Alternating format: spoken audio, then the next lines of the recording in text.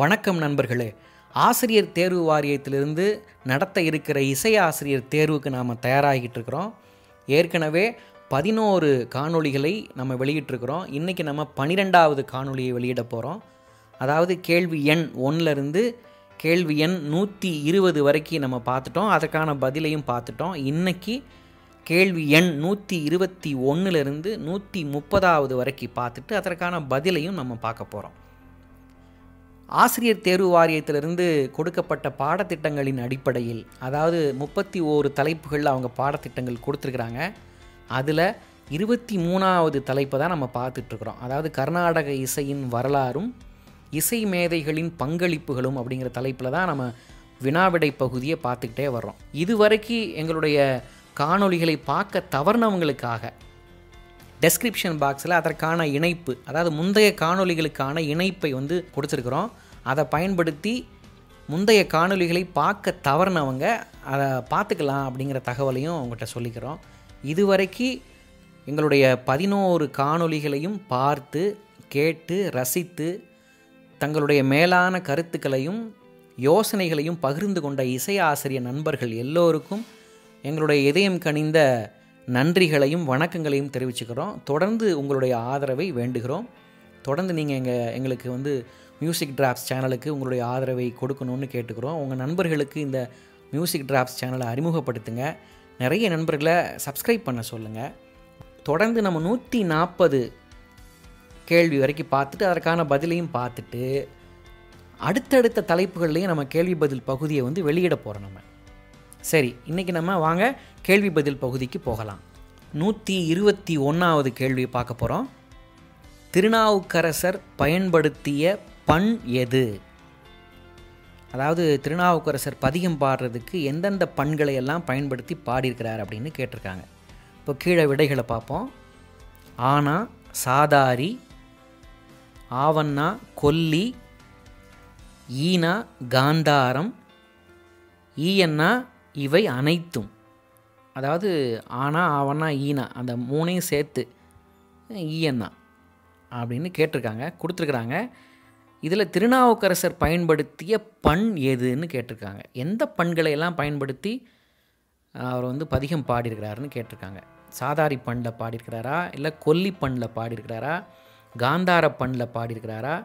இல்லை இது எல்லா இதுலேயுமே அவர் வந்து பாடியிருக்கிறாரா அப்படின்னு கேட்டிருக்காங்க. சரியான விடை ஈயன்னா இவை அனைத்தும் இருக்கு பாருங்கள் அதான் சரியான விடை. அதாவது திருநாவுக்கரசர் வந்து கொல்லி காந்தாரம் பியந்தை காந்தாரம் சாதாரி காந்தார பஞ்சமம் பழந்தக்கராகம் பழம்பஞ்சுரம் இந்தளம் சீகாமரம் குறிஞ்சி. இது போன்ற பண்கள் எல்லா பண்கள்லையும் வந்து இந்த எல்லா பண்களையும் பயன்படுத்தி அவர் வந்து பதிகம் பாடியிருக்கிறார் அப்படின்னு நம்ம அவர் ஒரு வரலாறில் நம்ம படிக்கிறோம். அப்போ சரியான விடை ஈஎன்னா நூற்றி இருபத்தி ரெண்டாவது கேள்வியை பார்க்க போகிறோம் பூத வேதாள வகுப்பு பாடல்கள் இயற்றியவர் யார்? பூத வேதாள வகுப்பு பாடல்களை இயற்றியவர் யார்? விடைகளை பார்ப்போம். ஆனா அருணகிரிநாதர் ஆவண்ணா தாயுமானவர் ஈனா திருஞான சம்பந்தர் ஈயன்னா திருநாவுக்கரசர். அருணகிரிநாதரா தாயுமானவரா திருஞான சம்பந்தரா திருநாவுக்கரசரா? யார் பூத வேதாள வகுப்பு பாடல்களை பாடினவங்க அப்படின்னு கேட்டிருக்காங்க. சரியான விடை ஆனா அருணகிரிநாதர். அவர்தான் இந்த பூத வேதாள வகுப்பு பாடல்களை வந்து இயற்றியிருக்கிறார். பூத வேதாள வகுப்பு பாடல்கள் வந்து சரித்திர முக்கியத்துவம் வாய்ந்தவை அப்படின்னு சொல்லுவாங்க அதை. அதில் வந்து சமஸ்கிருத ராகங்களை பற்றிய குறிப்புகள் நூற்றி எட்டு தாளங்களை பற்றிய குறிப்புகள் தமிழ் பண்களை பற்றிய குறிப்புகள் தாளவாத்திய குறிப்புகள் இதெல்லாம் கூட அந்த பூத வேதாள வகுப்பு பாடல்களில் இடம்பெற்றிருக்குது அப்படின்னு சொல்லுவாங்க. அப்போ பூத வேதாள வகுப்பு பாடல்களை இயற்றியவர் அருணகிரிநாதர். நூற்றி இருபத்தி மூணாவது கேள்வியை பார்க்க போகிறோம் ஸ்ரீ கணநாத எனத் தொடங்கும் மலகரி ராகத்தில் அமைந்த கீதத்தை இயற்றியவர் யார்?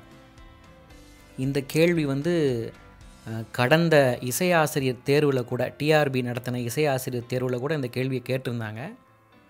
இது ரொம்ப எளிமையான கேள்வி தான் ஸ்ரீ கணநாதா என தொடங்கும் மலகரி ராகத்தில் அமைந்த கீதத்தை இயற்றியவர் யார்? கீழே விடைகளை பார்ப்போம். ஆனா வீணை குப்பையர் ஆவண்ணா புரந்தரதாசர் ஈனா சுவாதி திருநாள் மகாராஜா ஈயன்னா ஆதியப்ப ஐயர். சரியான விடை ஆவண்ணா புரந்தரதாசர். புரந்தரதாசர் இயற்றின கீதம் தான் அது. இந்த ஸ்ரீ கணநாதா அப்படின்னு மலகரி ராகத்தில் நம்ம பாடுவோம்.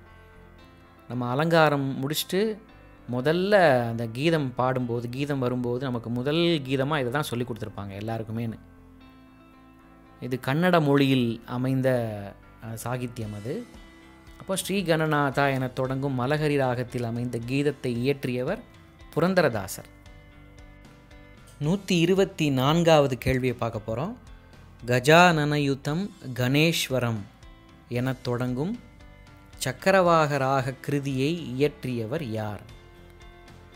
கஜானனயுதம் கணேஸ்வரம் அப்படின்னு தொடங்குகிற சக்கரவாக ராக கிருதி. நிறைய கச்சேரிகளில் நிறைய இசைக்கலைஞர்கள் பாடி நம்ம கேட்டிருப்போம். சக்கரவாகம் ராகம் வந்து கச்சேரியினுடைய தொடக்கத்தில் பாடுவதற்கு ஏற்ற ராகம் கிடையாது.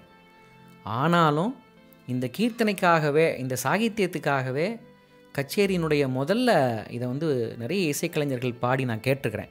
கஜானன யுத்தம் கணேஸ்வரம் அப்படின்னு தொடங்குற அந்த கிருதியை இயற்றியவர் விடைகள் பார்ப்போம். பட்டணம் சுப்பிரமணிய ஐயர் சியாமா சாஸ்திரி முத்துச்சாமி தீட்சிதர் தியாகையர். யார் வந்து கஜானன யுத்தம் கணேஸ்வரம் அப்படின்னு தொடங்குற அந்த கிருதியை இயற்றியவர்னு கேட்டுக்கிறாங்க. சரியான விடை ஈனா முத்துச்சாமி தீட்சிதர். முத்துச்சாமி தீட்சிதர் இயற்றின கீர்த்தனை தான் அந்த சக்கரவாக ராக கீர்த்தனை. கஜானன யுத்தம் கணேஸ்வரம்னு தொடங்குற அந்த கீர்த்தனை. நூற்றி இருபத்தி ஐந்தாவது கேள்வியை பார்க்க போகிறோம் முத்துச்சாமி தீட்சிதரின் வெங்கடாச்சலபதே என்ற காப்பிராக கிருதி கீழ்கண்ட எதற்குரிய எடுத்துக்காட்டு.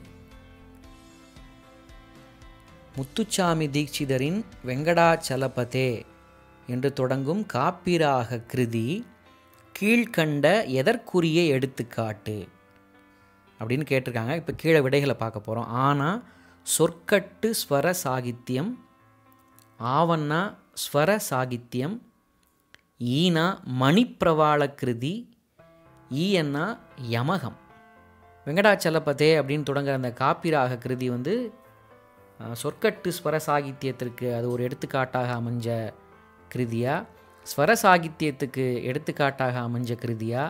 மணிப்பிரவால கிருதியா அது யமகம்ங்கிற அணிக்கு எடுத்துக்காட்டாக அமைஞ்ச கிருதியா அப்படின்னு கேட்டிருக்காங்க.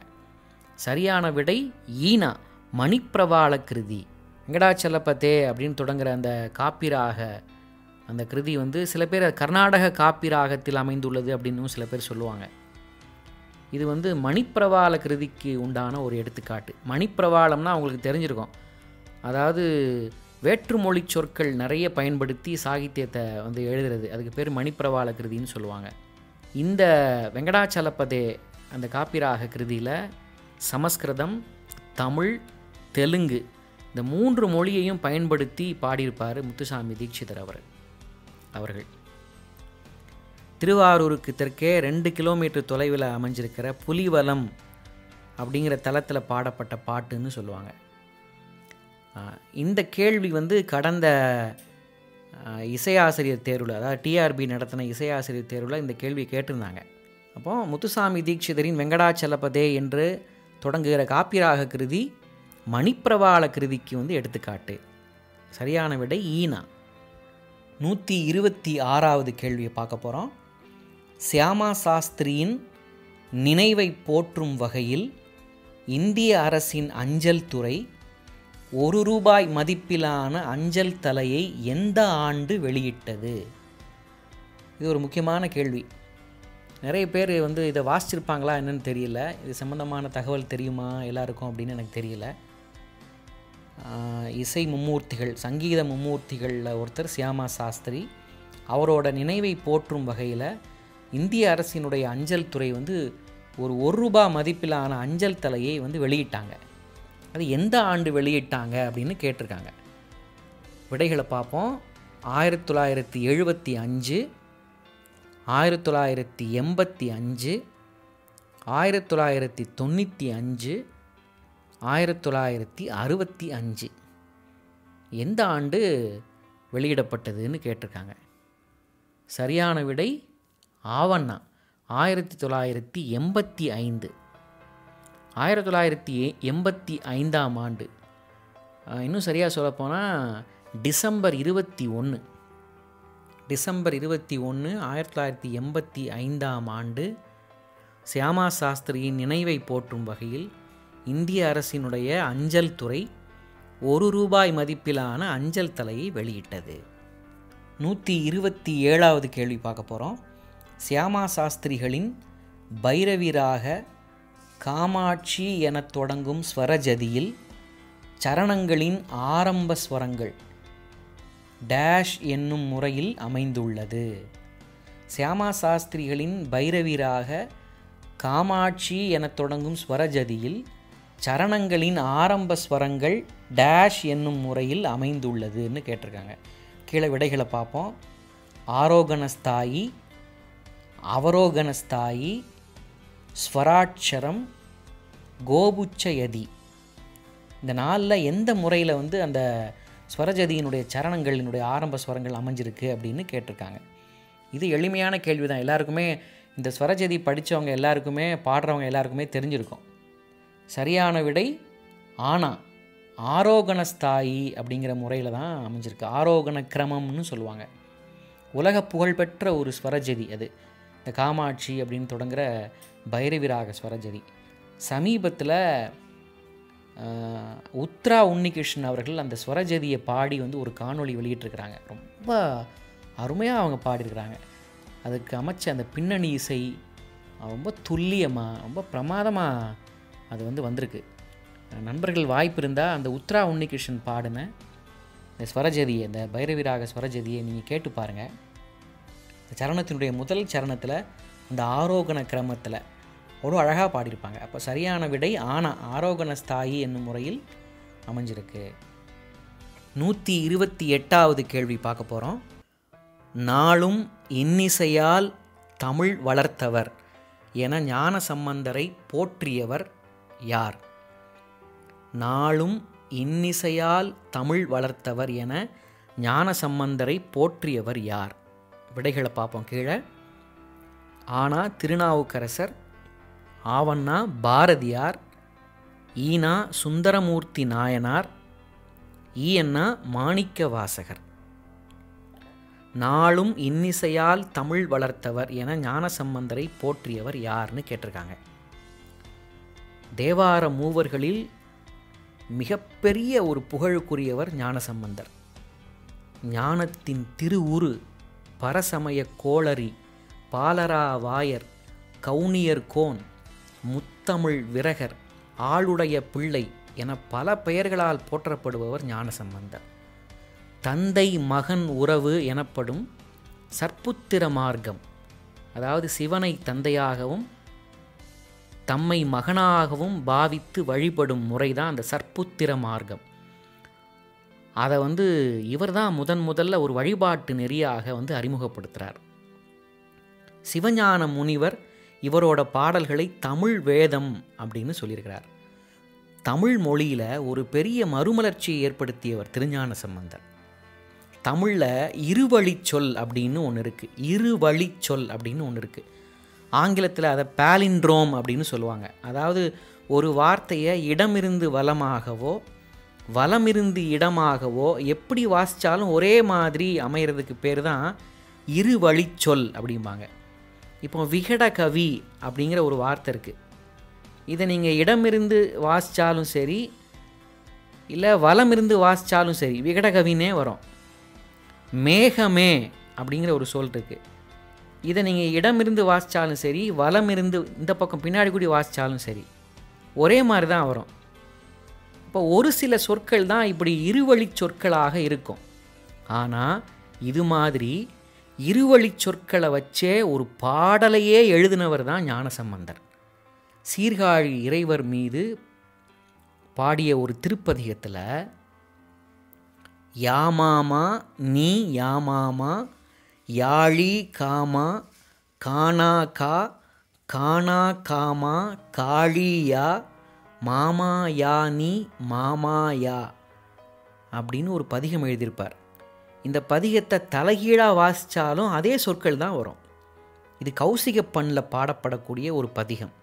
இப்படி தமிழ் மொழியினுடைய பெருமையை பறைசாற்றும் பல பாடல்களை பாடியதால்தான் நாளும் இன்னிசையால் தமிழ் வளர்த்தவர் அப்படின்னு ஞானசம்பந்தரை சுந்தரமூர்த்தி நாயனார் புகழ்ந்தார். அப்போ நாளும் இன்னிசையால் தமிழ் வளர்த்தவர் என ஞானசம்பந்தரை போற்றியவர் சுந்தரமூர்த்தி நாயனார். சரியான விடை ஈனா. கேள்வி எண் நூற்றி இருபத்தி ஒன்பது. அருணாச்சல கவிராயர் எத்தனை இசைப்பாடல்களால் ராமாயண கதையை நாடக வடிவில் வடிவமைத்தார்? அருணாச்சல கவிராயர் எத்தனை இசைப்பாடல்களால் ராமாயண கதையை இசை நாடக வடிவில் வடிவமைத்தார்னு கேட்டிருக்காங்க. விடைகளை பார்ப்போம். ஆனால் இரநூத்தி நாற்பத்தி எட்டு ஆவன்னா இரநூத்தி ஐம்பத்தி எட்டு ஈனா இரநூத்தி எழுபத்தி எட்டு ஈஎன்னா முந்நூற்றி ஒன்று எது சரியான விடை? ராமநாடக கீர்த்தனையில் தரு என்ற கீர்த்தனை பகுதியில் நூற்றி தொண்ணூற்றி ஏழு பாடல்களும் திபதை என்ற பகுதியில் அறுபது பாடல்களும் தோடயம் என்ற பகுதியில் ஒரு பாடலுமாக மொத்தம் இரநூத்தி ஐம்பத்தி எட்டு இசைப்பகுதிகளை நாற்பத்தி மூணு ராகங்களில் அமைத்துள்ளார். அப்படின்னு நம்ம அருணாச்சல கவிராயர் வரலாறு படிக்கும்போது படிச்சிருப்போம். அப்போ சரியான விடை ஆவண்ணா இரநூத்தி ஐம்பத்தி எட்டு. அருணாச்சல கவிராயர் இருநூத்தி ஐம்பத்தி எட்டு இசைப்பாடல்களால் ராமாயண கதையை இசை நாடக வடிவில் வடிவமைத்திருக்கிறார். நூற்றி முப்பதாவது கேள்வி. ராமநாடக கீர்த்தனை டேஷ் என்றும் அழைக்கப்பட்டது. இப்போ விடைகளை பார்க்க போகிறோம் ஆனால் ராமநாடகம் ஆவண்ணா சங்கீத ராமாயணம் ஈனா மேற்கண்ட இரண்டும் சரியானது. ஈயன்னா மேற்கண்ட எதுவும் சரியல்ல. இது ரொம்ப எளிமையான கேள்வி தான் நம்ம எல்லாருக்குமே பதில் தெரிஞ்சிருக்கோம். ராமநாடக கீர்த்தனை டேஷ் என்றும் அழைக்கப்பட்டது. அது ராமநாடகம் என்றும் அழைக்கப்பட்டது. சங்கீத ராமாயணம் என்றும் அழைக்கப்பட்டது. அப்போ சரியான விடை ஈனா. மேற்கண்ட இரண்டும் சரியானது. அதுதான் சரியான விடை. இந்த காணொலி உங்களுக்கு பிடிச்சிருந்தது அப்படின்னா கமெண்ட் பண்ணுங்கள் லைக் பண்ணுங்கள் ஷேர் பண்ணுங்கள் மியூசிக் டிராப்ஸ் சேனலை சப்ஸ்கிரைப் பண்ணாதவங்க சப்ஸ்கிரைப் பண்ணுங்கள் உங்கள் நண்பர்களுக்கு இந்த மியூசிக் டிராப்ஸ் சேனலை அறிமுகப்படுத்தி வைங்க. மீண்டும் நாம் அடுத்த காணொளியில் சந்திப்போம். நன்றி நண்பர்களே.